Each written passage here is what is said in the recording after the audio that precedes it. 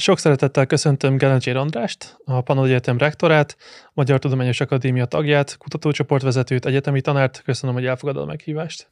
Köszönöm, hogy itt lehetek. Megpróbáltunk a civilizációs összeomlás kapcsán néhány gyakori kérdést összegyűjteni az internetről. Egy civilizációs összeomlásnak mik lehetnek az első jelei szerinted? Hát akkor, hogyha működési zavarok jelentkeznek, én úgy érzem, hogy ha, ha az a rendszer, ami, ami addig úgy, ahogy működött, az elkezd dadogni, elkezd problémákat generálni, és azokat nem tudja megoldani, az annak a jele, hogy valamiféle diszfunkció van a rendszerben, és nem biztos, hogy ez a rendszer hosszú távon fenntartható. És vannak-e már szerinted ilyen jelek a mi civilizációnkban? Hát szerintem vannak. Hát szerintem azért beszélgetünk, mert a válság az most már tapintható. És hát az elmúlt évtizedek, mondjuk a ezredforduló óta, azok a folyamatos válságokról szólnak. Tehát látszik az, hogy ez a rendszer túl nagyra nőtt, és hát működési zavarai vannak. Megpróbáltam utána olvasni, meg több írásodat is elolvasni, és ebből úgy veszem ki, hogy három nagy egyensúly van talán. Az egyik az ökoszisztéma, a másik az energia, a harmadik meg az anyag. Hogy ezekkel kapcsolatban szerinted melyiknél lesz legelőbb egy olyan durva egyensúlyból való kimozdulás, amit, amit már mondjuk nehezebb lesz lekezelni? Hát ez nagyon jó kérdés, ezek nem függetlenek egymástól, tehát ezek a rendszerek egymással összefüggnek, és egymásra hatnak, sőt, ezekben visszacsatolások működnek, azaz az a saját magukat is befolyásolják, tehát hogy változnak, úgy változnak a feltételeik is. Hát én az energiát látom középpontban, tehát az energia biztosítása az, ami, ami az emberiség legnagyobb kihívása, mert ugye az energiára a modern civilizációnak folyamatosan szüksége van, és hát azok az energiatermelési módok, amik eddig működtek, és amelyeket most úgymond ki akarunk váltani, azok ezt tudták biztosítani. Nyilván a, a, az új energia termelési módokkal ez, ez sokkal nehezebb. Hát gondoljuk itt a napelemeknek a, a szakaszos működésére, miközben az energiára folyamatosan szükségünk van. Ez egy óriási kihívás. Ez energiát szerinted hogyan lehetne hosszú távon biztosítani az emberiségnek? Egyetlen módon szerintem semmiképpen, hanem hát sokféle módszer kombinációjával, attól függően, hogy milyen környezetben, milyen feltételek mentén vagyunk. Tehát nem biztos, hogy mondjuk a napelemet én Izlandnak ajánlanám, és mondjuk Egyiptomnak a vízerőművet, vagy tehát nyilván ezek észszerű keretek között adott hely, helyen, adott körülmények mentén használhatók. És uh, szerinted ez a fajta megújuló energiára való átárás, ez, ez így megfelelő hosszú távon, vagy ez egy, ez egy hibás út? Hát abban a léptékben, hogy kizárólagos legyen, úgy mindenképpen hibás, mert akkor bejön a, az anyag oldaláról a korlát, tehát bejön az, hogy azoknak az anyagoknak az előállításához, amivel úgymond ezeket létre lehetne hozni, anyag kell, és ez az anyag, ez korlátozottan hozzáférhető, mert ezekhez elég speciális anyagok kellenek. És például egy napelemnél melyik azok, a, melyek azok az elemek, amik a legelőbb el fognak fogyni, vagy ami legszűkösebb? Hát ugye a napelem, soha nem csak önmagában a napelemet kell nézni, hanem azt a rendszert, aminek a része. Tehát az a napelem az, az egy rendszerben működik, ott vezetékek vannak, ahhoz rész kell, akkor rögzíteni kell ezeket a napelemeket, ahhoz ugye jelen struktúrában alumíniumot használunk jelentős mennyiségben, különböző műveleti egységek kellenek hozzá, például inverter, és egyéb átalakítók ezekhez különleges fémek kellenek, amelyekből végesek a készletek. Tehát nagyon sokféle anyag kell hozzá, és hát ezeknek a, a mennyisége, hogyha ezt olyan léptékben szeretnénk használni, ami a 8 milliárd ember, vagy még több embernek az igényeit kielégíti, véges. Elképzelhető, hogy az olajnál volt többször, hogy azt, azt gondoltuk, hogy végesek, vagy olyan szempontból végesek a készletek, hogy négy évtizeden belül elfogy, és találtunk új készletet, hogy ez az ilyen speciális elemeknél is előfordulhat, vagy ott azt sok jobban fel tudtuk térképezni, hogy hol vannak a határok? Nem tudjuk feltérképezni, ott is lehetnek még további felfedezések, csak ezek sokkal nehezebben hozzáférhetők sokkal nagyobb anyag és energia ráfordítása termelhető ki, mint a, mint a az úgymond könnyen hozzáférhető készletek. Tehát, hogy tetszik, folyamatosan hígul. folyamatosan nehezebb megtalálni, és folyamatosan nehezebb ezeket kitermelni. Tehát egy ilyen ördögi kör ez, hogy, hogy még több energiára van szükségünk ahhoz, hogy energiát tudjunk termelni. Tehát egyre, egyre gazdaságtalanabbul működtetjük a világot. És akkor el fog jönni az a pont, amikor már nem lesz gazdaságos ilyen dolgokat termelni? Ez nem gazdasági kérdés. Tehát én, én azt, azt próbálom hangsúlyozni, hogyha az energia oldaláról nézzük, tehát a befektetett energia és a megtermelt energia, akkor ez az arány romlik el végletesen. Tehát nem arról van szó, hogy ne lenne gazdaságos, mert a gazdaságosság az egy emberi, ember által befolyásolható tényező. Hát olyan árat kell szabni, és akkor már is gazdaságos. De energetikailag nem jön ki a matek, akkor, akkor is gond van, hogyha bármit bűvészkedünk a, a számokkal, meg a pénzekkel. Mondok egy példát, tehát van most ugye ez a pala gáza sláger, amit nagyon nem hatékony módon állítanak elő Amerikában, tehát nagyon sok energiát fektetnek be azért, hogy azt a gázt ott kinyerjék. Ha ezt a gázt szállítjuk több ezer kilométerre, cseppfolyósítjuk, tartályhajókba töltjük, áthozzuk az óceánon, ott, ott újra átalakítjuk, és megint szállítjuk, és ott használjuk fel mondjuk Magyarországon, akkor, akkor ez roppant gazdaságtalan folyamat. Lehet, hogy ennek negatív az energia mérlege, tehát a, ha minden energiát összeszámolunk, ami ahhoz kell, hogy a gáz onnan kijöjjön és ide eljusson, az lehet, hogy több, mint az az energia, ami a gázból kinyerhető. És hát ez, ezekről a dolgokról, ez lehet, meg, hogy megéri, tehát lehet olyan gazdasági paramétereket szabni, hogy annyiba kerül, hogy gazdaságilag ez mindenki jól jár, mert úgy szabják meg az egyes lépéseknek az árát, de összességében globálisan nézzük, akkor az emberiség ezzel mégse jár jól. Tehát ez az ellentmondás, hogy ezt lehet úgy működtetni, hogy ez ne látszon, de attól még az emberiség számára több energiát használunk fel, mint amennyi, már mint a, a kitermeléshez, mint amennyi az illető mondjuk erőforrásban nyerünk.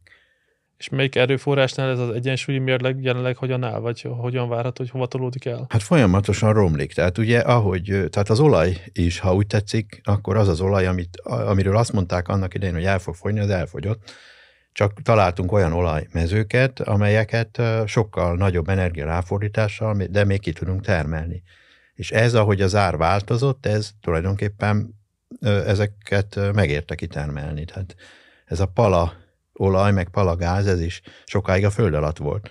Készlete ismertek voltak, csak nem érte meg mondjuk 20 dolláros hordonkénti áron, ezt nem érte meg felszínre hozni. De amint fölment az ár 100-120 dollárra, akkor mindjárt gazdaságos lett. De tulajdonképpen energetikailag ez soha nem gazdaságos, mert ez egy nagyon rossz energiahatékonyságú folyamat. Befektettünk egy egység energiát, és kinyerünk néhányat. Tehát ez, ez ez nem nagyon éri meg. Egy könnyű, könnyen hozzáférhető olaj, mondjuk a közel-keleten, az mondjuk százas hatékonysága nyerhető ki, mert nagyon, nagyon könnyű a, a felszíne hozatala. És hogyha beszélünk mondjuk a nukleáris energiáról, vagy akár mondjuk a napelemekről, ott ez a megtérülési arány körülbelül hol van? Hát ez a, a nukleáris energiája az viszonylag magas, tehát ott viszonylag jó hatékonyságú folyamatról van szó köszönhetően annak, hogy ezek az erőművek viszonylag hosszú ideig működnek. Igaz, hogy egyszer igen komoly anyagmennyiséget, meg energiát, mennyiséget kell a létrehozásukba fektetni, de utána ezek évtizedekig, vagy akár ilyen fél évszázadig, vagy még tovább működnek. És a, mivel a nukleáris energia az egy meglehetősen koncentrált energia forrás, mármint a, most a hasadóanyagokra gondolok, tehát viszonylag kis mennyiségükből nagy mennyiségű energiát lehet előállítani, ezért ez a, ezek az erőművek viszonylag hatékonyak, olyan 75 körüli a hatékonyságuk, tehát egy egység befektetése 75 egységet lehet belőlük ö, nagyságrendileg kinyerni. A napelemeknél az a baj, hogy a, nap, a napnak a teljesítmény sűrűsége, tehát amilyen intenzív a napsugárzás, az, az nem túl az nem túl nagy ö, teljesítmény egy ö, egységre, egy négyzetméterre vetítve. Tehát egy négyzetméterről egy olyan 300 watt az a teljesítmény, ami átlagosan rendelkezésre áll, az nem sok, és annak körülbelül az ötödét tudjuk kinyerni, tehát ilyen 20% körül van ezeknek a hatásfoka, tehát olyan 60 wattot tudunk egy négyzetméterről leszedni. Tehát, hogyha nagy teljesítményre van szükségünk, már pedig azért az emberiség most elég nagy energiaigényű, akkor nagy területeket kell beborítanunk napelemmel, kiépítenünk a vezetékeket, hálózatokat, stb. És ez pedig nagyon sok anyag, és ahhoz meg nagyon sok energia kell. Tehát ez a hatékonyságot egy számjegyű. Tehát egy a négyhez, hathoz lehet rajta vitatkozni, de, de, de tíz alatt van mindenképpen. Tehát akkor elvileg ez még hosszú távon akkor egy fenntartható energiamodell maradna, még a napelemnél is, egy elvileg akkor, hogyha csak napelemből elő lehetne állítani a következő napelemet, vagy egy idő után itt is, itt is leromlana ilyen egy, mert amikor gondolom egy az egy körülire elkezd csökkenni, vagy egy a másfél, akkor ott, ott onnantól kezdve az már fenntartatatlanak kezd válni. Sokkal magasabban van ez a küszöb. Most jelenleg van egy a 15-höz az átlagos hatékonyság, amivel az emberiség energiát termel. Olyan egy a hétig szerintem elmegy a rendszer, vagy inkább nem is szerintem, hanem vannak, akik ilyennel foglalkoznak, és és ezt mondják, hogy olyan egy a héthez az még elmegy, de az alatt hát ez nem fenntartható. Tehát nem kell egy, egy egyet elérni, hogy ez energetikailag ne legyen fenntartható. Ezek a számok egyébként, amit mondtam mondjuk a napelemre, az úgy arra vonatkozik, hogy a hozzá szükséges nyersanyagokat még fosszilis energiával bányásszuk ki, ami, ami viszonylag hatékony koncentráció energiaforrás. Tehát a, a bányák a fejlődő országokban, azok a nagy munkagépek, billencsek, exkavátorok, azok még fosszilis energiával, zömében fosszilis energiával üzemelnek, és így jön ki ez a hatékonyság. Ha ott is mondjuk napelem lenne, vagy elektromos, vagy fotovoltaikus energia, akkor azért ez a hatékonyság tovább csökkenne. Nagyon sok energiát igényel az emberiség, innen ered a probléma, és ezt nagyon nehéz folyamatosan biztosítani. És a egy a hét körül mi az, ami történik, vagy mi az, ami várható, hogy történik?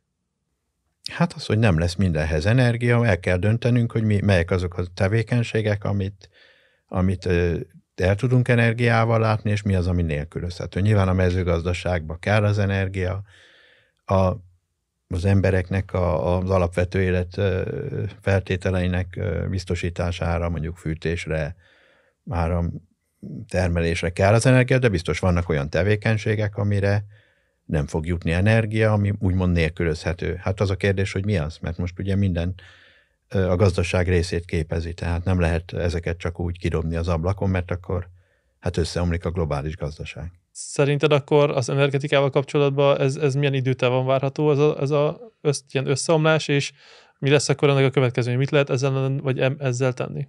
Az, hogy nehezülnek a feltételek, romlanak a feltételek, megváltoznak a, azok a azok a keretrendszerek, amelyek mentén a társadalom vagy a gazdaság működik, az várható. Hogy ez mennyire lesz gyors és drasztikus, az nyilván nagyon sok mindentől függ. Tehát, hogy mennyire tolerálja a társadalom, hogy a politikai rendszer ezt mennyire tudja kezelni, mennyire tudják úgymond átalakítani a társadalomnak a működését, elfogadtatni az emberekkel mondjuk, hogy, hogy lehet, hogy nem minden jut alanyi jogon, ami mondjuk a korábbi évtizedekben jutott. Tehát, hogy ezek óriási kérdések, hogy ezeket hogy sikerül kommunikálni, hogyha sikerül, és az emberek belátják, hogy hogy ez így nem megy tovább, és valamiféle más fajta, de működő modellt kell választaniuk, akkor, akkor nem biztos, hogy, hogy fejre áll a világ. Ha mindenki ragaszkodik ahhoz, ami volt, és azt akarja folytatni, na akkor lesznek gondok. Tehát akkor, ami mondjuk idén bekövetkezett, hogy az energiárak mondjuk hétszeresek, meg tízszeresen magasabbak, és emiatt ugye rengetegen elkezdték ugye a fűtéstől kezdve mindent visszafogni, akkor ez egy olyan irány, ami szerinted nem csak mondjuk egy időszakos egy-két évben keresztül fog tartani, hanem hosszú távon várhatóan ez hát marad. Sőt, ez egy trend, tehát az, hogy változzon és növekedjen, az elkerülhetetlen. Az, hogy milyen ütemben teszi ezt, az nyilván függ aktuál politikai helyzettől, gazdasági ösztönzőktől, egyebektől, tehát azért ez most nem biztos, hogy ez az arány az, ami egyébként lenne, ha mondjuk nem lenne háború, de hogy ez a növekedés, ez, ez már középtávon is elkerülhetetlen, az egész biztos. Tehát arra számítani, hogy itt véget ér a háború, és akkor minden visszatér a normál kerékvágásba, és ugyanúgy lesz az idők végezteig, ez, ez teljes tévedés. Tehát egész biztos, hogy ezek a folyamatok tovább fognak menni, lehet, hogy egy kicsit korrigálnak, majd, és nem hétszeres lesz, csak négyszeres, de hogy ez nem fog visszamenni, és nem fog a, mit tudom én, 20 dollár alá esni az olajár, vagy, vagy bármi, ez egészen biztos. Tehát akkor aki mondjuk energiahatékonyságba fordít, az, az, az, az biztos egy, megér, egy, egy, igaz, egy jó, jó dolog. Így van, de hát ez eddig is jó lett volna. Igen, csak eddig szerintem volt egy pár olyan beruházás, ami mondjuk ilyen 10 év alatt, 20 év alatt térült volna meg. De hogyha viszont tízszeres ugye a gázár, akkor ez, ez olyan, olyan drasztikusan lecsökken az időtáv, hogy akkor már de egyszerűen nem azt mondom, hogy hülyének is megéri, de hogy akkor az már nagyon egy látványos dologgá válik. Hát jó, de ezt meg lehetett volna eddig is csinálni, például a gazdasági ösztönzőkkel, tehát azért voltak itt források Magyarországon, azokat lehetett volna részben arra használni, hogy ilyen programokat támogatni, mint ahogy azért voltak is úgy néha, de kisebb arányban ilyen energiahatékonysági programok, de azért a, a, ez az elmúlt két évtized az nem az energiahatékonyságról szólt. Az a korlátlan, szabad növekedésről, és az energia szempontok azok igen kis súlyjal estek alatban. De akkor ez, ez most már egy, egy komoly szempont lesz minden szempontból. Tehát, hogyha vagy valaki egy vállalatot is néz vagy tervez hosszú távon, akkor az energiával kell az egyik legjobban kalkulálni hosszú távon. Hogyne, de hát ez most már, ezt már nem is kell mondani, hanem ezt már mindenki érzi a bőrén, és szerintem aki, aki racionálisan gondolkodik, az már mindig cselekszik. Ha átmegyünk az anyagoldalra, akkor anyagoldalon mik azok a erőforrások, amik szerinted a leggyorsabban ki fognak apadni? Hát én azt gondolom, hogy az energiatermeléshez kapcsolódó anyagok azok, amelyek a legkritikusabbak. Tehát az energiatermelést azt ugye az előbb veséztük ki, hogy annak nagyon sokféle módja lehetséges, és azok, azok azért rengeteg különböző anyagot, kritikus anyagot igényelnek. Ezek a fémek, amelyek ezekhez kellenek energia tároláshoz például, ezek, ezek ezeknek a mennyisége kritikus, a rendelkezésre állása kritikus. Ugye itt gondolok itt az akkumulátorokban használt fémekre, lítiumra, kobaltra, de nyilván az elektronikai iparban használt különböző elemek is ugyanebbe a kategóriába esnek. De mondhatnám a rezet is, az ezüstöt, ami ugye az ezüst az nem csak az étkészletekben, meg a, az ékszerekben van, hanem az a elektronikai ö, cikkeknek a többségében ez egy nagyon ö, fontos ö, elem, mint ahogy az arany is egyébként. Tehát az arany is az elektronikában egy nagyon ö, fontos e, elem, és van még nagyon sok hasonló, ami ezekben, ezekben a modern eszközökbe kell. Tehát ezek mind, mind olyan értelemben kritikusak, hogy véges mennyiségben állnak rendelkezésre. Különösen akkor, hogyha a felhasználásukat, azokat ö, hát ö, exponenciális pályán képzeljük el, tehát hogy egyre többet fogunk belőlük használni. Akkor szerinted az akkumulátoros technológiákra való átállás, mint mondjuk az elektromos autókban, ez, ez egy tévút lesz hosszú távon, vagy mi, mi lett ott a megoldás? Igen, hát ebbe a volumenbe, meg abba, hogy ez, ez váltsa ki mondjuk a teljes mobilitást, ez teljesen irracionális. Az, hogy ez adott helyen, adott korlátozott mértékben használható, azt nem vitatom. Tehát mondjuk egy városi környezetben, vagy, vagy egy olyan, olyan ö, környezetben, ahol a töltésre ö, megfelelő mód áll rendelkezésre, és ezeket jó ki lehet használni, ez például egy járható út, kevésbé szennyezi a levegőt, és ö, csendesebb, stb. Tehát egy csomó előnye van mondjuk a, a belső égési motorokhoz képest, de hogyha teljes flottát teljes funkciójában ezzel szeretnénk leváltani, na akkor ott nagyon komoly korlátokba ütközünk. Több ország kitűztett céldátumnak én 2030-2040, hát hogy onnantól kezdve nem is lehet majd ugye belső égési motorral szerelt járműveket eladni, hogy ott akkor mi az, ami várható, vagy ezzel, ezzel kapcsolatban globálisan szerinted? Hát szerintem nagy problémák várhatók. Eleve az infrastruktúra nem is alkalmas, a jelenlegi infrastruktúra ezeknek a rendszereknek a a folyamatos kezelésére. Hát csak nézzük meg, hogy mennyi töltő van most, és most mondjuk visszakérdezek, hogyha mondjuk most el kellene menni Münchenbe, akkor mondjuk egy elektromos autóval elindulna-e? Tehát, hogy Hát mondjuk ott már a töltőhálózat szerintem már így, most jelenleg szerintem éppen még ele, elegendő tud lenni.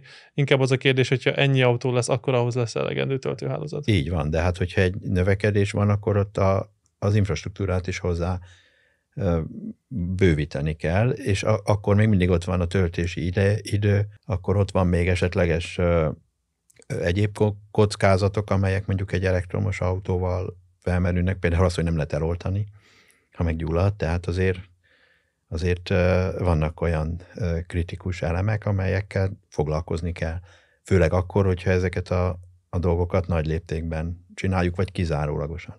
De, de anyag oldalon is effektíve nem lesz elég anyag ahhoz, hogy ezeket elő tudjuk állítani, hogy megfelelő áron. Hát igen, ugye a kobalt például, tehát a most ugye lítium és kobalt akkumulátorok azok, amelyek technológiailag a leginkább alkalmasak erre, és ott a kobalt például ez egy nagyon kritikus elem, az szinte kizárólag Kongóban bányászák, és végesek a készletei és mennyire lehet hosszú távon ö, valami fejlesztése megoldás, vagy fejlődése megoldás, hogy akár mondjuk egy napelemnél, hogy ott is ugye a hatékonyság az most már 20%, de, de lehet, hogy fel lehet az mondjuk 30-40%-ra egy napelem hatékonyságát, és mennyire lehet akár mondjuk egy akkumulátornál, hogy mondjuk kobaltmentes legyen, vagy ott is technológiai előretöréssel lehet ezeket megoldani. Hát igen, az folyamatosan vannak technológiai fejlesztések, csak a lépték folyamatosan nő.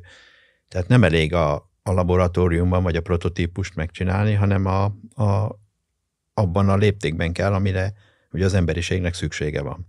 És ez egy roppant uh, nagy volumen, tehát azért uh, én egyszer olvastam egy ilyen becslést, hogyha most mondjuk rendelkezésre állna uh, a technológia, és, és uh, kitalálnák, hogy mi lenne az az ideális mondjuk elektromos autó, ami, ami mondjuk mindenkinek megfelelne, akkor is 20-25 évbe telne lecserélni a világ teljes autóflottáját, ami közel másfél milliárd autót jelent. Tehát mire legyártják, mire ennek a logisztikáját megszervezik.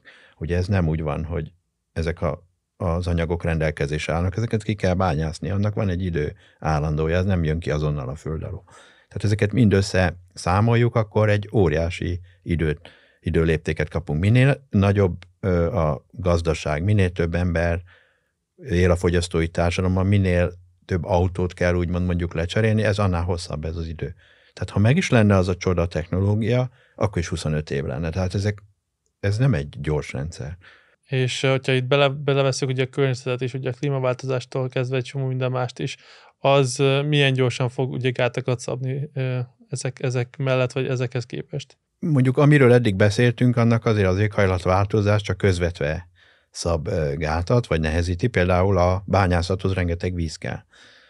Tehát azokhoz a technológiákhoz, amivel az anyagot elválasztják, az értékes anyagot a meddők közettől, az, az például rengeteg vizet igényel. Ezek a bányák, ami, amelyeket most ismerünk, ezek abszolút ö, ilyen víz hiányos területeken vannak. Tehát például a víznek a biztosítása is egy óriási kihívás. És ezt ugye az éghajlat változás módosíthatja, tehát hogy adott esetben még nehezebben hozzáférhetővé teszi a vizet, akadályozhatja ezeket a, a, a, még az ipari termelési folyamatokat is. A mezőgazdaság az meg egyértelmű, hát ahhoz meg itt volt ez a demonstrációnak, itt volt ez az a szája Magyarországon, meg hát az északi félgömbön, ami hát azért eléggé megmutatta, hogy az elég komoly korlát és a hosszú távon akkor a, a klímában inkább mondjuk a hőmérsékletnek a növekedése lesz, ami egy gátló tényező lesz, vagy a vízhiány, vagy... Vagy is. Is? hát ezek összefüggnek nyilván, tehát a melegedéssel együtt jár az, hogy nagyobb nő az a szájhajlam, mondjuk főleg a kontinensek belsejében kevesebb víz áll majd rendelkezésre, ahogy ez látszik, ez rendszerűen. Tehát Magyarországon például jelentősen csökkent a talajvíz szint szintje, dacára annak, hogy azért még az elmúlt évtizedben előfordultak csapadékosabb évek, de ezek nem tudták ezeket a föld felszín alatti készleteket visszapótolni. Tehát hosszú távon akkor ugye az egyik, hogy energiára kell igazából valakinek nagyon figyelnie, és akkor lehet, hogy egy térségeknél akkor tényleg effektív elvándorlások, vagy szerinted hogyan fogja az emberiség ezt, ezt kezelni?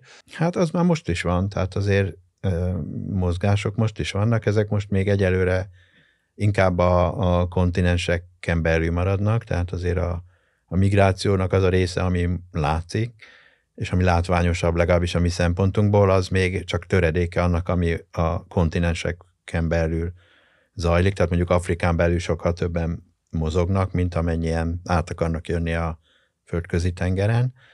Tehát azért mindenki igyekszik azért a saját környezetébe, vagy annak a közelében maradni. Az nem általános, hogy hogy, hogy mondjuk más kontinensre, más kultúrába, más éghajl, éghajlatra kívánkozik. Természetesen most már előfordul, tehát ez már most is zajlik ez a folyamat.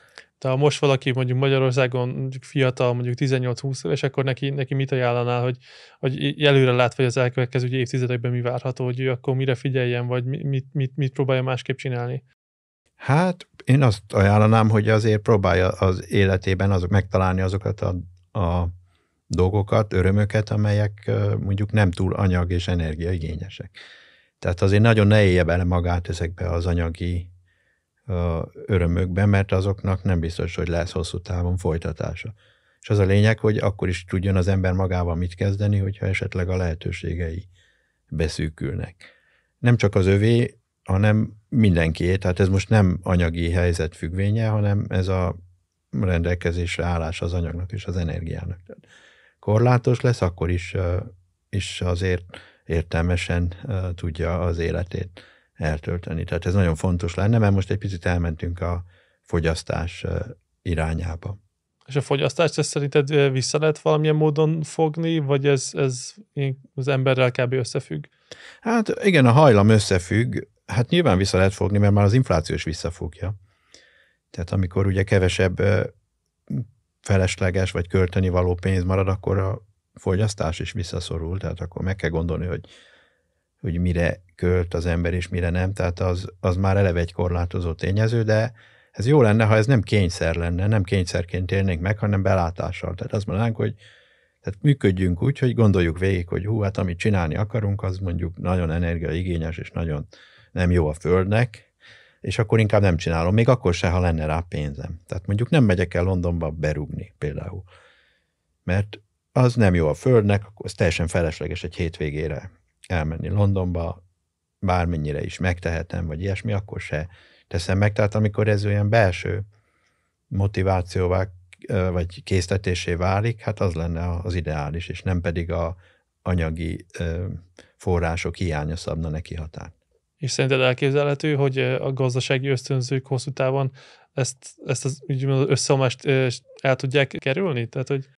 Igen, ez a jó kérdés. Ez attól függ, hogy, hogy meg tudják-e teremteni azokat az alternatív mondjam, fogyasztási vagy szolgáltatási lehetőségeket, és azt be tudják-e a gazdaság működésébe illeszteni. Tehát magyarul, hogy, hogy meg tudjanak élni az emberek, hogy legyen munkájuk, de azért mégse pazarolják az anyagot és az energiát. Tehát ne feltétlenül halmozzuk a javakat, hanem valami olyan szolgáltatásokat vegyünk igénybe, amelyek kevésbé használják ezeket az erőforrásokat. Mert ugye most, hogyha ugye elkezd elszállni az infláció, akkor ugye automatikusan egyre kevesebbet vásárolnak, vagy egyre gazdaságosabban az emberek, és akkor lehetséges, hogy akkor emiatt a, a, mondjuk a civilizáció nem összeomlik, hanem inkább csak átalakul egy olyan, olyan társadalomban, ami sokkal, sokkal inkább energia és anyagintenz, vagy kerül az intenzivitást. Hát igen, csak ugye az inflációnak az a baja, hogy az, az szelektív, tehát az elsősorban azokat érinti, akik szegényebbek, és azokat viszont nagyon hamar, nagyon kedvezőtlen, vagy akár kilátástalan helyzetbe tudja taszítani. Miközben az, akik megtehetik, azok meg ugyanúgy pazarolnak, mert őket mondjuk az infláció a leggazdagabbakat például egyáltalán nem érdekli. Tehát mondok egy példát, a, a repülésben a föld népességének egy százaléka felelős a kibocsátás 50 százalékáért, vagy az energiafelhasználás. Tehát írtózatosan egyenlőtlen az arány. Na most az nem megoldás, hogy azt az egy százalékot megkérjük, hogy ugyan már ti repültetek eleget, ti most már maradjatok a földön, ti már ne repüljetek, és akkor mindjárt 50 százalékkal csökken az energia felhasználás, meg a kibocsátás, meg anyagfelhasználás, mert akkor összeomlik a globális gazdaság.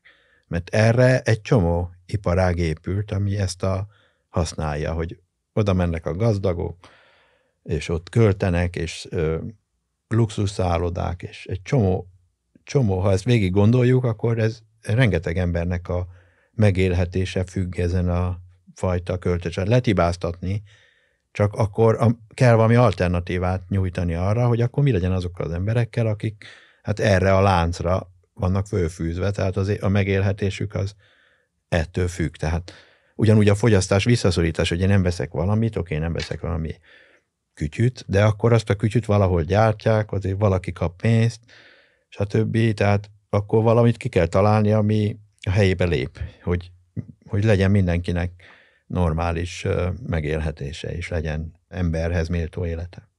És szerinted most már átléptük a 8 milliárdos határt, hogy ennyi embernek ez, ez még kivitelezhető lesz, vagy mindenképpen szükséges lesz a populációnak mégis a csökkentése hosszú távon? Hát ez jó. Ugye a fogyaszt, én inkább a, a népesség szám mellett, vagy inkább még annál fontosabbnak gondolom a fogyasztó, a fogyasztási szintet.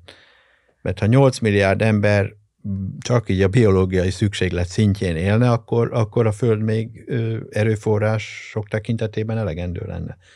Ha azt a fogyasztási szintet akarnánk kielégíteni, ami mondjuk az amerikaiakra, vagy mondjuk a, vagy akár ránk is jellemző, na akkor viszont túlhasználjuk a Földet, és akkor, akkor gyakorlatilag semmilyen erőforrás hosszú távon nem elegendő. Tehát nagyon nagyon érzékeny dolog ez, tehát nem, nem csak a népesség számtól függ. Könnyű azt mondani, hogy 8 milliárd, de mindenki ezzel dobálózik, hogy de ez önmagában a fogyasztási szinttel együtt értelmezhető. Tehát, hogy milyen szinten akar 8 milliárd ember élni. És elképzelhető, hogy ebbe, tehát melyiket fogják szerint az emberek inkább választani, vagy lesz-e valami kényszer, hogy inkább megpróbálják ezt lejjebb adni, vagy inkább leszünk kevesebben? Hát ez nem egyéni döntés, tehát ez, egy, ez is egy nagy rendszer, ez is se változik gyorsan, tehát most még növekszik.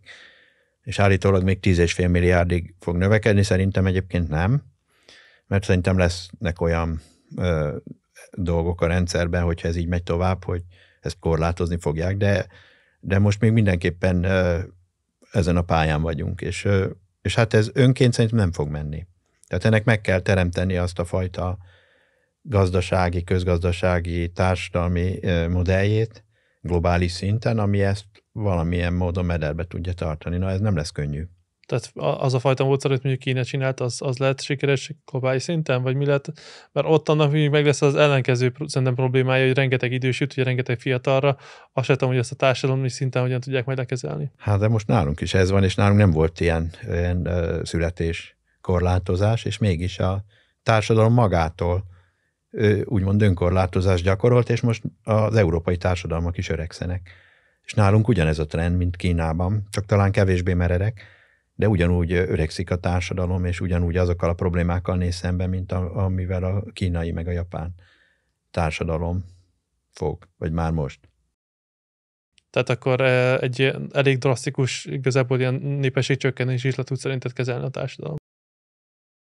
Hát ez nem annyira drasztikus, mert azért ez nem háború, vagy valamilyen olyan járvány, ami, ami mondjuk középkorban volt, ez azért egy, egy trend, még ha meredek is, de azért ez, ez én nem nevezném drasztikusnak.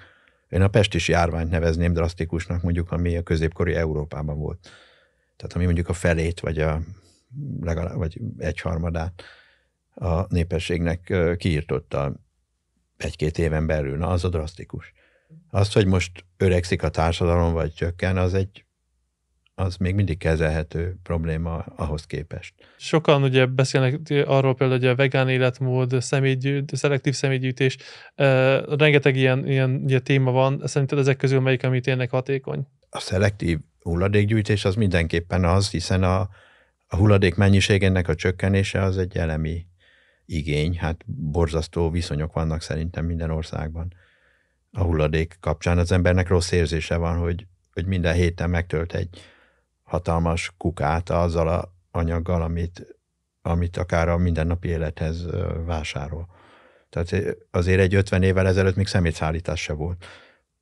Most meg, ha egy hétig nincs szemétszállítás, vagy egyszer kimarad, akkor ott nagyjából már a társadalomnak a működőképességét veszélyezteti. Hát a, a legtöbb országban az a legelső közegészségügyi, meg civilizációs probléma, hogyha mondjuk sztrájkba lépnek a, a kukások, és akkor, akkor azzal őrületbe lehet ker- kergetni a társadalmat, hogy ha halmozódik a szemét, minden.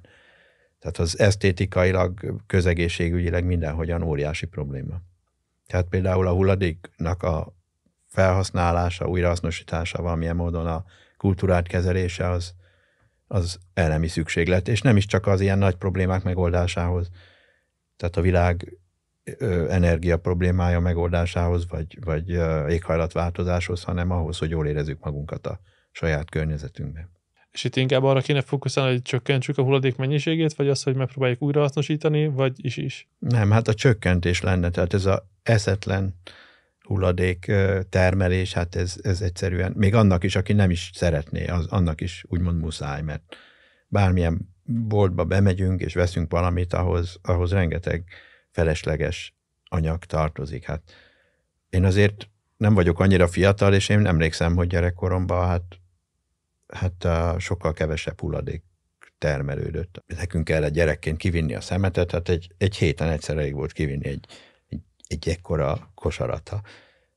De ez mondjuk 40 vagy 50 évvel ezelőtt volt, tehát azóta naponta ki kell vinni hasonló mennyiséget, mert ugye minden többszörösen műanyagba, meg mindenféle egyébben be van csomagolva. Az életmódváltás, tehát mondjuk, hogy ugye vegán életmód, vagy bármilyen életmód, az például segíthet -e? Hát igen, ugye a, a, a táplálékbiztosítás a mostani struktúrában az egy roppant erőforrás igényes, tehát ahol állat tenyésztés van, húsfogyasztás van, az egy, az egy jóval komolyabb erőforrás igényű, mint mondjuk a, a növényi alapú termelés. Az más kérdés, hogy azért a, a megfelelő táplálkozásnak az embert azért alapvetően mindenevőnek tervezték, és a, azért biológiak szerintem mi a, azért alapvetően mindenevők vagyunk, tehát nyilván valamilyen formában gondoskodnunk kell a megfelelő tápanyagoknak a beviteléről. Hát ugye erre van ijeszgetésül, illetve nem feltétlenül, mert már Ázsiában azért ennek van hagyománya, nem véletlenül egyébként, mert ugye az ázsiaiak azok sokkal hamarabb lettek nagyon népesek, és azért ott az erőforrások, főleg a múltban azért elég nehezen voltak, mármint az élelmiszer folyamatos biztosítása az akkor nagy kihívás volt, és akkor ezek a, bejött a menübe a, a hernyó, meg a bogár, meg a mindenféle, és ott része a kultúrának ezeknek a fogyasztása, nem véletlenül, tehát már akkor is kvázi kényszerből azokban a társadalmakban, hogy fehérjéhez jussanak. Tehát egy ilyen teljesen más alapú élelmiszertermelés az, az egészen más energia és, és erőforrás igényű lenne, mint, a, mint ez a mostani struktúra. De hát ugye ez is olyan, amin nehezen be lehet változtatni. Tehát aki egy mondjuk egy argentin steaket szeret, az azért nem biztos, hogy egy hernyóval beéri, és ugyan könnyű meggyőzni, hogy akkor az mondjon le az egyikről, és válassza a másikat. Tehát ez azért én szerintem egy elég hosszú és keserves folyamat. És például a mezőgazdaságban egy előadásodban említetted a foszfornak a hosszú távú hiányát, hogy milyen hiányok várhatóak a mezőgazdasággal kapcsolatban is, hogyha még ugye nem is húsfogyaszt valaki. Hát ugye a foszfort azt elemi érdekünk lenne visszatartani, meg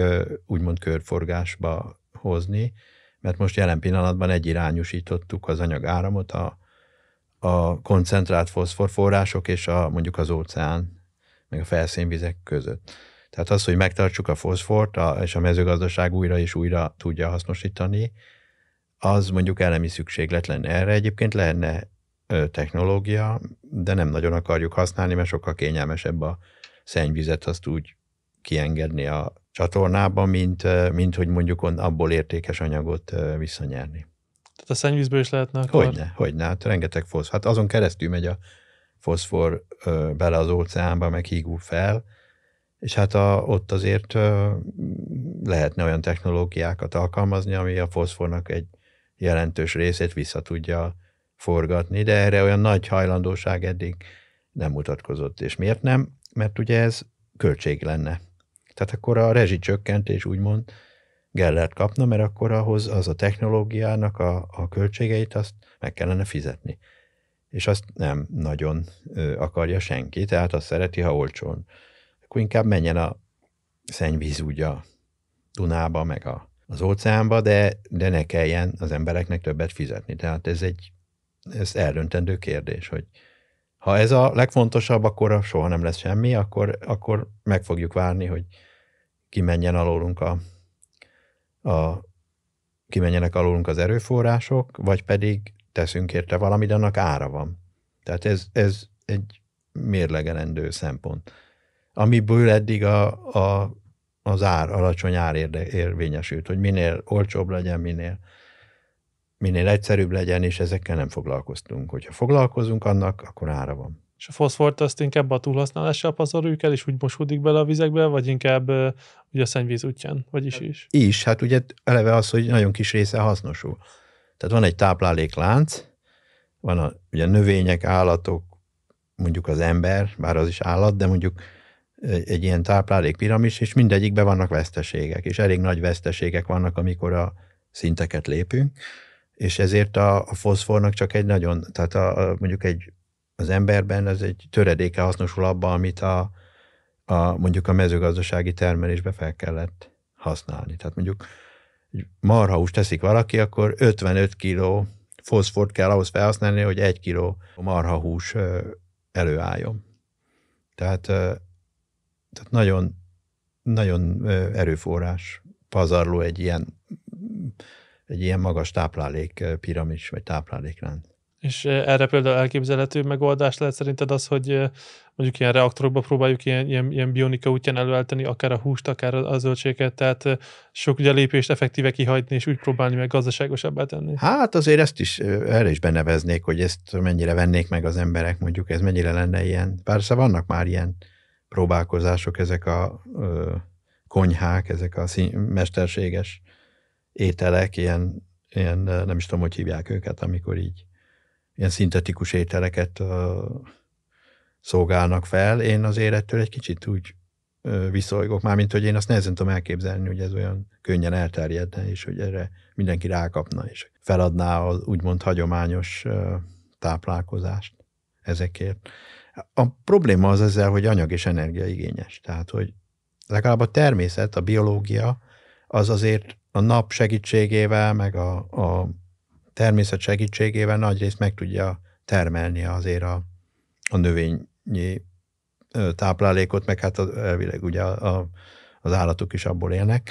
Ha szintetikus minden, akkor azt mindent nekünk kell csinálni. Tehát akkor, akkor azt nekünk úgymond gyárakban kell csinálni, ahhoz fel kell építeni az infrastruktúrát, ahhoz anyag, energia kell, tehát, tehát onnantól kezdve a természetnek a szolgáltatásait nem veszük igénybe, vagy csak korlátozottan. Tehát én azért szkeptikus vagyok, hogy ez olyan, itt olyan nagyon jó lenne a, a, az energia hatékonysága egy ilyen rendszernek mondjuk a természethez képest. Szerinted például tudunk hatékonyabbak lenni a természetnél? Vagy ez egy elképzelhető út? Hát hatékonyabbak tudunk lenni, csak nem, csak költsége van. Mármint anyag és energia költsége van, meg pénzbeli költsége is. Tehát például a napenergia hasznosítás, azt a növények is tudják. Úgy hívják, hogy fotoszintézis. És annak a hatásfoka az egy százalék alatti. Tehát, ha úgy tetszik, az nem túl hatékony folyamat, de a természet ráér. Annak nem kell ilyen gazdasági számításokat végezni, neki így evolúciósan így működik a természet, és neki az tökéletesen elég. A napelem meg, ugye említettük, az olyan 20%-ot, vagy még lehet, hogy egy kicsit többet is tudnak. Tehát, ha úgy tetszik, összehasonlítjuk a fotoszintézist a napelemmel, akkor azt mondjuk, hogy hú, az ember 20-szor jobb a természetnél. Igen, ám csak ehhez anyag, energia kell, ez meg ingyen van. Ez megy magától, ez tudja reprodukálni magát, a természet, a növény, a napelem nem tudja. Tehát azért elvi különbségek vannak közte, tehát ennek óriási ára van annak, hogy ennyivel hatékonyabbak vagyunk a természetnél, mert, mert ezt, ezt ugye meg kell termelni, létre kell hozni, ha hulladék lesz belőle, azzal kezdeni kell valamit, a növénynél ez nem probléma. Tehát ez a gond.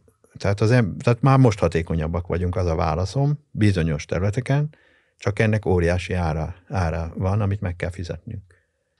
Csak akkor felmerül bennem a kérdés, hogy egy mindent összeadunk, akkor is hatékonyabbak vagyunk, ha az energiától kezdve, anyagtól kezdve mindent, vagy akkor, vagy egyfolytában ezt próbáljuk ugye, meg, be, ugye, hatékonyabbak lenni a természetnél, és ha mindent összeadunk, akkor sose tudunk hatékonyabbak lenni. Szerinted nálam? Hát a természetnél nem, mert azok az alapvető, ami a természet, amire a természet képes, tehát például reprodukálni önmagát, arra az ember által létrehozott dolgok nem képesek. Tehát van egy robot, tök jó, tök minden, bármit tud csinálni, csak magát nem tudja reprodukálni. Tehát nem tud, ha tönkre megy, akkor nem lesz egy másik. A növény az egy adott élőhelyen, ha nem romlanak el végletesen a körülményei, az tudja magát reprodukálni, tehát az a növényzet megújul. az ember által létrehozott világ nem újul meg, de bármire gondolhatunk. Tehát vannak ilyen filmek a Nat meg máshol, hogy mi lenne, hogyha az emberiség eltűnne, akkor mi történne, és akkor így ugrik előre az időbe, és hát ott mindennek. Amit ember létrehozott, az annak vége lesz. Tehát akkor végül is a természethez, az egyedüli út szerint az hosszú távon, hogy a természethez valamilyen fajta módon visszamenni, mert annál hatékonyabb dolgot akkor nem tudunk csinálni. Tudunk csinálni, mert most is csinálunk, csak ezt korlátozott mértékben tudjuk megtenni. Ehhez vagy az kell, hogy korlátozott legyen az emberiség népesség száma, és az úgymond egyfajta olyan fenntartható módon tudja ezeket a dolgokat csinálni, vagy pedig, vagy pedig vissza kell menni a természetbe. Egyikre se vagyunk képesek ennyien.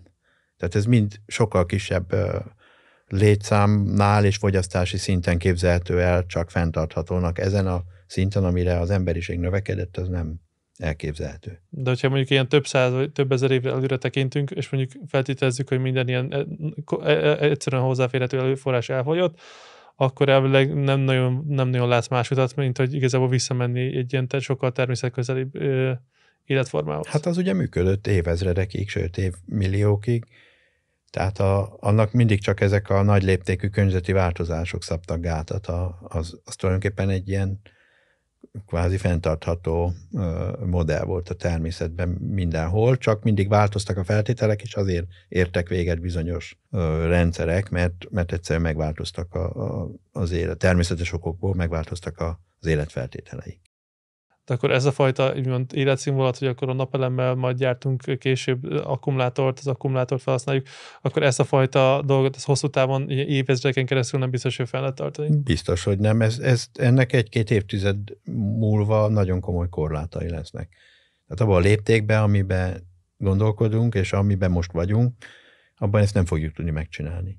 Csak azon gondolkodom, hogy akkor elvileg ez, ez egész igazából egy zsákutca, vagy egy, egy mert akkor elvileg ezt nem, nem, nem fog tudni fenntartani hosszú távon. Igen, de, de olyan értelemben most a társadalom működését fenn kell tartani, mert különben teljes anarchia lenne. Tehát mondjuk elmenne az áram, akkor itt pár óra múlva gyakorlatilag az ismert civilizáció nagyjából véget érne, mint ahogy van is erre példa amerikai nagyvárosokban mondjuk egy hurikán után azért elég hamar, elég nagy felfordulás szokott lenni, tehát a, elkezdődnek a fosztogatások, meg minden, tehát hogy nyilván a rendszer erre épül, hogy legyen energia. Ezért az elsődleges, hogy ezt fenn kell tartani, mert nem ér, nincs értelme fenntarthatóságról beszélni, ha most összeomlik minden. Tehát amikor valaki azt mondja például, hogy most állítsunk le minden széndiokszid kibocsátást, és akkor majd a klímaváltozás megáll, arra én azt mondom, hogy ha most leállítjuk, abba a pillanatban összeomlott a társadalom. Tehát ez egy, most leoltunk minden villanyt, akkor szüntettünk, még, mindenki megállott, ahol van, és nem tud működni a társadalom, mert nem erre van kitalálva. Tehát ez teljes irracionális elképzelés, hogy, hogy ezt meg tudjuk tenni, és innentől kezdve ennek nincs is értelme ilyen gondolatkísérletet csinálni, mert ez képtelenség. Tehát a társadalom működésének a fenntartása az elsődleges. Aztán a következő az, hogy próbáljuk úgy átalakítani, úgy, hogy végigműködik, nem úgy, hogy összeomlik, és majd csak lesz belőle helyette majd valami, hanem hogy próbáljon átmenni egy olyan modellbe, ami, ami már a környezeti korlátokra is tekintettel van, és ami hosszú távon fenntartható. Tehát ez a feladat. De akkor ezt a társadalmat, ez hosszú távon igazából kettő irány. Az egyik, hogy vissza kell sokkal természetközelebb irányba vinni, mert ez a fajta mód az így, így van. szemlátomás fenntartatlan. A másik, hogy a, azzal együtt a lakosság számot is igazából vissza kell csökkenteni, mert, mert 8 milliárd embert valószínűleg modern technológiák nélkül nem igazán lehet ellátni élelmiszerrel. Ezt értem, csak ugye az, én az, ezért mondom azt, hogy az sokkal humánusabb megoldás, hogyha a fogyasztást veszük vissza, mintha a népesség számot. Mert a népesség számot az csak nagyon drasztikus módon lehet érdemben szabályozni, azok a háborúk, meg ilyen világjárványok, meg mindenféle kataklizmák tudják. A fogyasztásból azért vannak tartalékok, tehát a fogyasztásból szerintem még van hova visszavenni. Tehát amiről beszélgettünk, ott az, azokról még azért úgy, úgy többé-kevésbé le lehet mondani, hogyha ezt a gazdasági és társadalmi környezet támogatja. Tehát ha már emberek vagyunk, én sokkal humánusabb megoldásnak tartom a fogyasztásnak a visszafogását, mint az, hogy itt mind kiválasszuk azt, hogy kimaradjon életbe, vagy, és akkor a, a többit meg valahogy likvidáljuk. Tehát én ezt nem tartom humánus megoldásnak, akkor már inkább a fogyasztásból vegyünk vissza. Igen, de egyszerűen csak a születésszám, hogyha visszaesik, az önmagával hozza ezt. Tehát elvileg Kínának a lakosság is kb. feleződni fog belátható időn belül. Tehát elvileg nem, is, nem feltétlenül kell hozzá háború, viszont Viszont, hogyha nincsen ugye modern műtrágya, nincsenek modern mezőgazdasági gépek, akkor elvileg 8 milliárd embernek az élelmiszerét nem biztos, hogy meg lehet termelni. Így van. Az a baj, hogy, hogy Kína ugyan már, már elindult lefele valóban. 2100-ra lesznek 700 millióan. Tehát a trendek alapján, viszont a Afrika, Fekete Afrika az viszont abszolút a növekedés fázisában van, és hamarosan Nigéria lesz a második legnagyobb ország a Földön. India után. Tehát nem hamarosan, de mondjuk a század vége fele. Tehát azért, és ott, ott az erőforrások roppant korlátosan állnak a rendelkezésre. Tehát ott óriási problémák lesznek. Tehát ez egy ilyen gócpont, azt gondolom a világban a, a fenntarthatóság vonatkozásában. Plusz az éghajlatváltozás azért, ha lehet, akkor őket a, az átlagnál, vagy a, a többieknél jobban sújtja. De hogyha a mezőgazdaságban vissza kéne állni a módszerekre, amit használtunk mondjuk pár száz évvel ezelőtt, akkor azzal csak néhány száz millió embernek tudnánk élelmiszert Így van, így van, tehát ott azért kell az innováció. Tehát kell valamilyen szinten a modern technológia, kell a tudás, és valószínűleg nem az lesz a megoldás, ami a, a ős közösségben volt, hanem valamiféle olyan, olyan technológia, ami, ami jobban hasznosítja mondjuk a tápanyagokat, a, a a nyomelemeket, és ami, ami a vizet megtartja, stb., olyan fajták, stb. Tehát, hogy, hogy mindenképpen ez csak kvázi technológiával képzelhető el. És akkor, hogyha előre tekintesz elkövetkező száz évbe, akkor szerinted a megoldás az inkább a technológiai innováció lesz, vagy inkább visszamenni kicsit természetközelibb ilyen, ilyen életformához? Szerintem is. Tehát technológiai innováció mindenképpen kell, de a, a, a megoldások egy része az, az inkább hasonlít a természetet, kell, hogy hasonlítson a természet által működtetett rendszerekhez, még ha nem is pont ugyanaz, tehát még ha a technológia módosított, vagy valamilyen formába beavatkoztunk, mert azok a fenntartható rendszerek. És akkor lesz fenntartható a világ, hogyha ezt így meg tudja ugrani. Tehát, hogy olyan innovációt, olyan technológiát alkot, amivel úgymond a természetet tudja szimulálni. Erre van egy ilyen divatos, ez a nature-based solutions. Tehát ez a természet alapú megoldások. Ez, ez, ez, ez ami jelentheti a kiutat. Hasonlóképpen az energiatermelésben is. Tehát például nem feltétlenül, tehát például egy, egy szél turbina, az mondjuk a hálózatba kötjük, és ezzel akarunk mindent, minden folyamatnak az energiaigényét kiegíteni, az egy elég kockázatos dolog amiatt, hogy nagyon kiszámíthatatlanul változik, termel. Ha, ha mondjuk egy helyi, helyi forrásként tekintünk rá, anélkül, hogy nagyon energiatárásba ilyenbe belemennénk, mint ahogy régen voltak Hollandiában a szélmalmok, amikor a vizet emelgették. Amikor fújt a szél emelte, amikor nem fújt nem emelte, de azért a, a víznek most mindegy, hogy éjszaka emelik, vagy nappal, tehát neki nem kellett energiát tárolni, meg semmit nem tárolt ott, de mégis egy nagyon hatékonyan tudott egy, egy egész komoly gazdasági rendszert működtetni. Tehát Hollandia az iskola példája annak, hogy az, az ember mondjuk találmányokkal, innovációval, technológiával tud kvázi fenntarthatóan egy, egy gazdasági rendszert például működtetni, akár a tenger szintje alatt is. Tehát, és nem a mostani technológiáról beszélek, hanem a, a, tizen, a középkorban, meg a, tehát a, évszázadokkal ezelőtt. És ezt mondjuk miért lehetne most megtenni? Tehát ezek a low-tech dolgok, ami nem, tehát hogy ezeket miért ne lehetne például használni, ami, ami már egyszer bevált, és mondjuk a, az ilyen jellegű feladatokra miért ne lehetne viszonylag egyszerű megoldásokat is ö, hasznosítani, amelyeket már ugye korábban is hasznosítottak a előde, az elődeink. Igen, mert szerintem ugye pont, hogy ez a fajta energiabőség, ami, ami volt, ez, ez egy csomó mindent elvitt más irányba. De viszont így, hogy igazából elkezd visszacsökkenni az energiának a szabadon hozzáférhetőség, akkor egy csomó lótek megoldás, az, az akkor elkezd visszajönni. Így van, így van. E, ilyesmire gondolok, hogy, hogy, ha, hogy használjuk azért az eszünket, használjuk, a, amit kitaláltunk, tehát nem ilyen gyűjtögető életmódra gondoltam, meg nem is ilyen teljesen középkori módokra, hanem valami ennek valamilyen értelmes használatára, tehát a technológiáknak az értelmes használatára. Lehet, hogy akkor nem lesz mindig áram, lehet, hogy csak nappal lesz áram, meg mit tudom én, és nem lesz. De akkor úgy kell az életet szervezni, meg olyan társadalmi modellt kell alkotni, ami emellett is működőképes. Tehát ez a 0-24-ig pörög ezerre minden, és világítjuk a reklám, vagy a neon feliratok világítanak a városokba, ez nem biztos, hogy ilyen falun nem volt régen. Hát igen. Ez a, ez a közelmúltnak a találmánya, és ez, ha, úgy, ha, ha belegondolunk, ez teljesen felesleges. Ki a fene nézegeti éjjel kettőkor a, a mit tudom, milyen nagy, gyors étteremnek a neon reklámján? Hát leginkább senki szerintem, mindenki alszik. Nem? Az a pár rendőr, aki az utcákon van, meg egy-két tolvaj, hát az pont nem azokat nézi.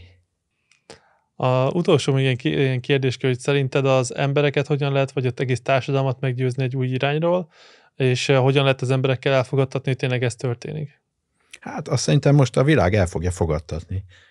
Tehát szerintem amilyen irányba mennek a dolgok, így most már úgy szerintem egyre többen kezdik ezt elfogadni, vagy felfogni, vagy megérteni. Tehát én most az, abban látom a változást, hogy, hogy most eljutott, ez elérte az inger küszöböt, és most már ez tényleg beszédtéma, ez tényleg uh, szempont az emberi gondolkodásban. Akár az energia, akár a, az anyag, vagy egyáltalán ennek a fenntarthatóságnak a kérdése most már szerintem itt van velünk.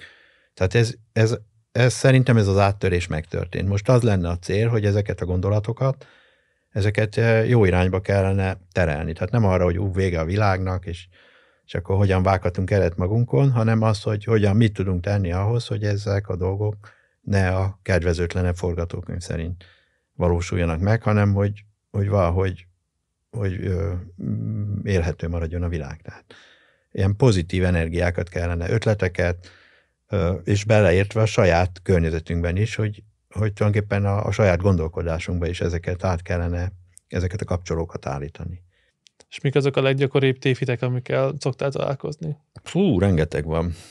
Hát ugye ez a technológia ö, vált, vagy hogy mondjam, technológia fanatizmus, ami, vagy technofanatizmus, ami, ami hogy minden megold a technológia, hogy, hogy itt uh, mindig hozzák példának ezt a New Yorkot, hogy kiszámolták, hogy meddig fog érni a trágya, hogyha ilyen ütemben nőnek a, vagy a lovaskocsik száma, és aztán nem nőtt, mert kitalálták a, a belső égési motor, stb. De, de ez, ez nem ugyanaz a kávéház, tehát ez teljesen más amiben most vagyunk itt, azért globálisan nagyjából belaktuk a Földet, nagyjából az erőforrásainkat, amivel ezt megtettük, azokat elhasználtuk. Most egy kicsit erőködünk még, hogy találjuk ezt-azt, és nyilván valamennyi nagy energia és anyag ráfordításra találunk is, de ebből most vissza kellene fordulni. Tehát itt most ez egy egészen más szituáció, mint mondjuk akár 50-100 évvel ezelőtt volt. Tehát és ez a várakozás, ez a mindenhatóság, technológiai mindenhatóság, ez, ez, ez teljesen alap nélküli. Tehát itt hát tulajdonképpen a 20. században az egyetlen ténylegesen működő, nagy léptékű energiatermelési mód, az például a nukleáris energia volt. Az egyetlen találmány. A, nap, a napelemet azt 1830-as években kitalálták. Csak ugye még akkor nem volt rá szükség, meg még akkor nem tartott ott a technológia, hogy magát az elvét, úgy értem, hogy nem tudták még, tehát nem, nem vált tömeg, vagy nem csináltak bele tömeggyártást, de ott elve meg volt ezeknek. És most ugye a fúziós energiát kergetjük, amiből meg szerintem a Földön sose lesz semmi. Meg hát ennek is óriási időléptéke van, csak a tervek szintjén 2050 előtt nem lesz bele semmi, tehát ez nem fogja a, a a világot itt a küszöbön álló évtizedekben megmenteni, vagy megváltoztatni. És klímával, vagy, vagy az anyagi hozzáférhetőséggel kapcsolatban vannak még tévhitek, vagy ilyen gyakori tévhitek, vagy általában az a technológiával kapcsolatos tévhitek szoktak dominálni? Hát ugye az is, hogy ez a körforgásos gazdaságban túl sokat gondolunk. Tehát azt, hogy körforgásos gazdaság, attól reméljük azt, hogy hát minden, minden megoldható. De hát ugye, ahogy beszéltük, a, a körforgás korán sem azt jelenti a technológiában, mint a természetben.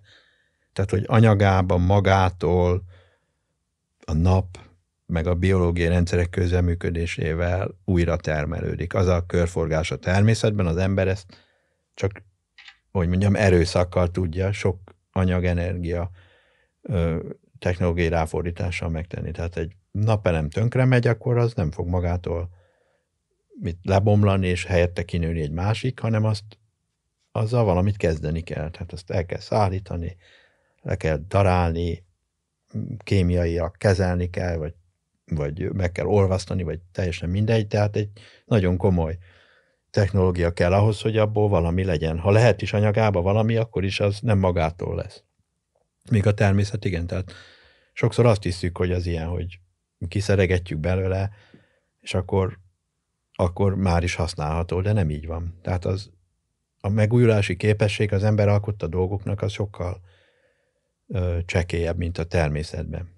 Az utolsó kérdés, amit mi felszoktunk tenni, hogy akár téged, akár ezt a témát, hogyha valakit érdekli, akkor hogyan tudja követni? Én időnként, ha megkeresnek, akkor szoktam ilyen nyilatkozatot adni, tehát hogyha rákeresnek a nevemre, akkor egy-két ilyen, ilyen interjú, meg nyilatkozat azért feljön, meg podcast is volt már egy-kettő, amiben szerepeltem, tehát ezeket meg lehet hallgatni, illetve most megjelent egy könyvem az akadémiai kiadónál, ami ilyen ismeretterjesztő könyv. Azt nem mondom, hogy népszerűsítő, mert ezt a témát nehéz népszerűsíteni, de közérthetően itt a világnak ezeket a problémáit az energiával, az anyaggal, a tévhitekkel, a klímaváltozással, egyebekkel ez, ez taglalja. Az a cím, hogy Ábrándok bűvöletében.